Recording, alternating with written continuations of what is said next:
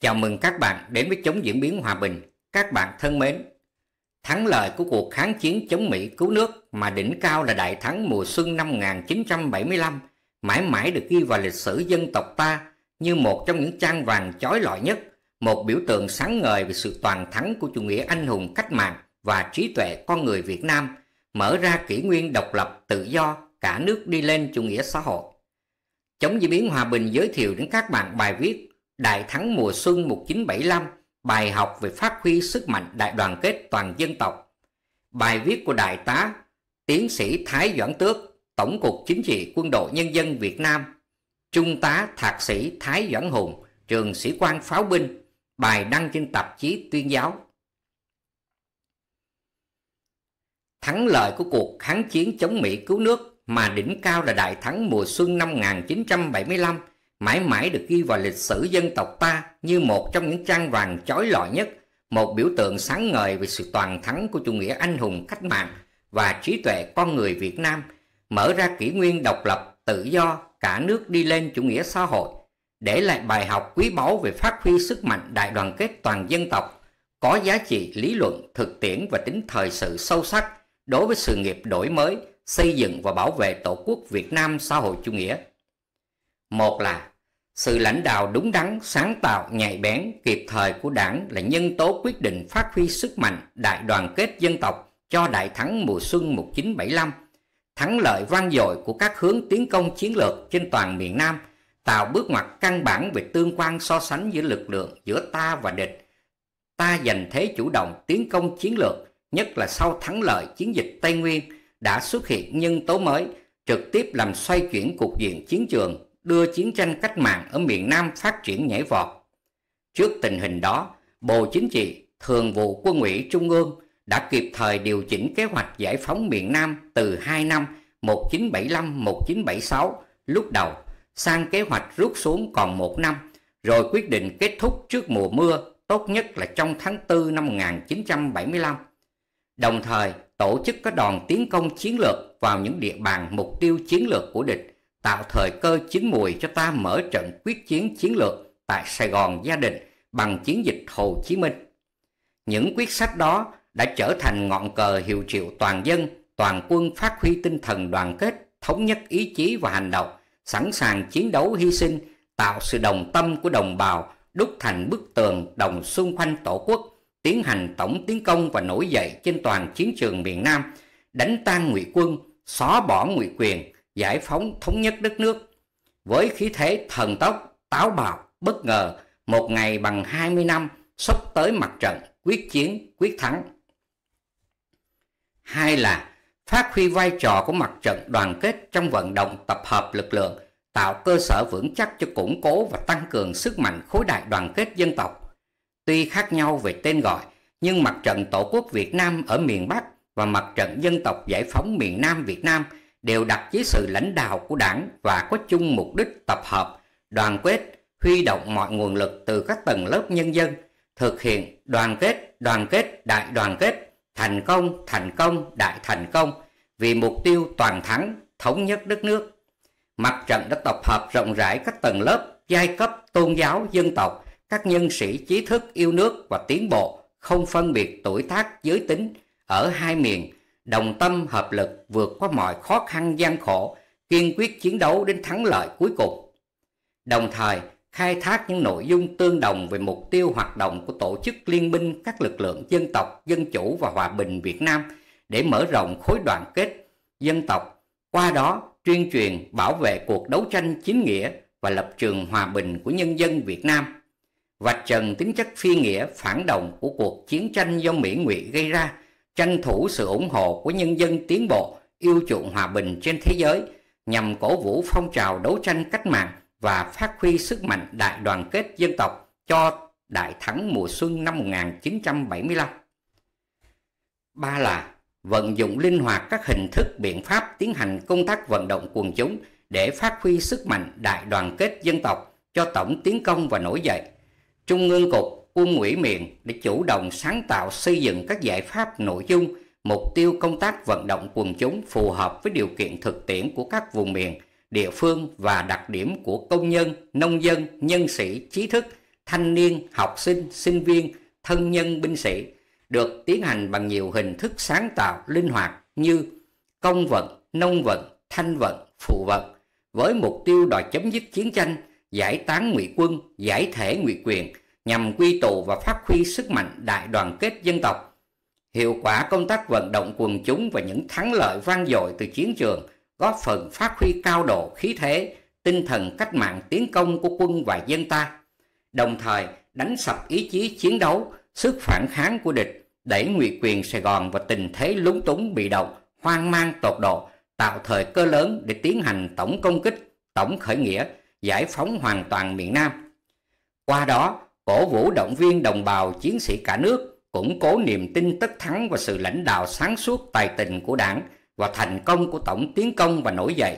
thể hiện sự thống nhất, ý đảng, lòng dân trên dưới đồng lòng kết thành sức mạnh vô song của khối đại đoàn kết dân tộc. Bốn là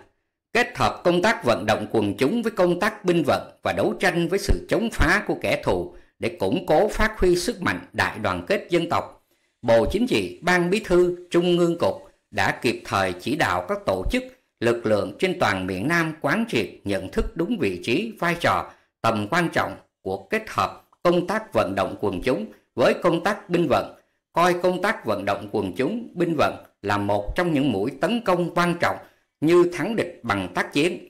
triển khai quán triệt, tuyên truyền sâu rộng, thực hiện nghiêm 10 chính sách của chính phủ cách mạng lâm thời và chỉ thị số 218 ngày 18 tháng 4 1975 của Ban Bí thư về chính sách đối với tù hàng binh trong tình hình mới, nhất là đối với binh sĩ khởi nghĩa, binh sĩ giác ngộ trở về với cách mạng và tù binh.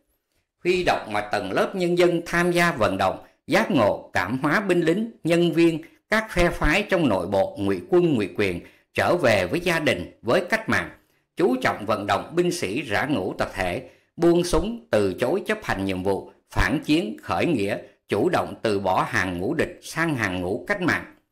đồng thời đấu tranh trừng trị cô lập những kẻ ngoan cố chống đối và những luận điệu xuyên tạc chủ trương đường lối chính sách của cách mạng vạch trần bản chất âm mưu thủ đoạn thổi phồng vấn đề dân tị nạn cuộc tắm máu cổ vũ tư tưởng tử thủ, kích động hận thù giai cấp, dân tộc của Mỹ ngụy nhằm nói xấu cách mạng và tạo cớ cho Mỹ tiếp tục can thiệp vào miền Nam. Hiệu quả của sự kết hợp đó đã làm tan rã lực lượng lớn quân địch, buộc ngụy quyền Sài Gòn phải đầu hàng không điều kiện, giải phóng thành phố Sài Gòn gia đình, đưa chiến dịch lịch sử mang tên Bác Hồ vĩ đại đến toàn thắng, hạn chế hy sinh đổ máu, Sài Gòn và các đô thị của miền Nam hầu như nguyên vẹn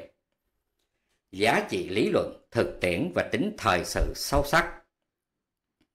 Quán triệt vận dụng bài học phát huy sức mạnh đại đoàn kết dân tộc của đảng trong đại thắng mùa xuân 1975 vào sự nghiệp đổi mới, xây dựng và bảo vệ Tổ quốc Việt Nam xã hội chủ nghĩa cần thực hiện tốt một số nội dung cơ bản sau. Thứ nhất, tăng cường sự lãnh đạo của đảng, sự quản lý của nhà nước đối với phát huy sức mạnh đại đoàn kết dân tộc tiếp tục hoàn thiện, cụ thể hóa, thực hiện tốt cơ chế đảng lãnh đạo, nhà nước quản lý, nhân dân làm chủ và phương châm dân biết, dân bàn, dân làm, dân kiểm tra, dân giám sát, dân thụ hưởng nhằm khẳng định sự lãnh đạo của đảng là ngọn cờ quy tụ, sự quản lý của nhà nước là phương thức bảo đảm để đại đoàn kết dân tộc thực sự là cội nguồn sức mạnh, động lực chủ yếu, có ý nghĩa quyết định thành công của sự nghiệp đổi mới, xây dựng và bảo vệ Tổ quốc Việt Nam xã hội chủ nghĩa. Đồng thời, phát huy vai trò trách nhiệm của hệ thống chính trị, các tổ chức đoàn thể xã hội và các tầng lớp nhân dân trong quán triệt thể chế hóa, cụ thể hóa, nâng cao hiệu lực, hiệu quả chủ trương, đường lối của đảng và xây dựng hoàn thiện hệ thống pháp luật, cơ chế chính sách về phát huy sức mạnh đại đoàn kết dân tộc. Khi đại dịch COVID-19 bùng phát, Ban Bí thư, Thường trực Ban Bí thư, Chính phủ đã kịp thời ban hành các văn bản chỉ đạo toàn dân đoàn kết, chung tay cùng hệ thống chính quyền các cấp phòng chống khắc phục hậu quả dịch bệnh, góp phần củng cố niềm tin của nhân dân đối với đảng, nhà nước và chế độ xã hội chủ nghĩa. Thứ hai, phát huy vai trò của mặt trận Tổ quốc Việt Nam trong củng cố tăng cường sức mạnh đại đoàn kết dân tộc, đáp ứng sự nghiệp đổi mới, xây dựng và bảo vệ Tổ quốc.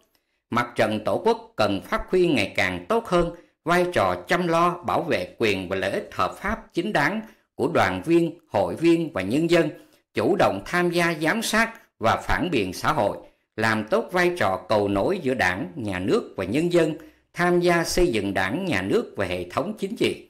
tích cực vận động nhân dân tham gia xây dựng đảng vững mạnh về chính trị, tư tưởng, đạo đức, tổ chức và cán bộ, xây dựng và hoàn thiện nhà nước pháp quyền xã hội chủ nghĩa của nhân dân, do nhân dân và vì nhân dân, thực hành dân chủ, bảo vệ quyền và lợi ích chính đáng của nhân dân, giải quyết hài hòa mối quan hệ giữa lợi ích cá nhân và lợi ích xã hội, đẩy mạnh các phong trào thi đua yêu nước, các cuộc vận động, các chương trình mục tiêu quốc gia do đảng, nhà nước phát động. Mặt trận Tổ quốc đã kịp thời cụ thể hóa các văn bản chỉ đạo, lời kêu gọi của Ban Bí thư, Thường trực Ban Bí thư, Chính phủ và lãnh đạo đảng nhà nước thành phong trào, chương trình hành động thiết thực,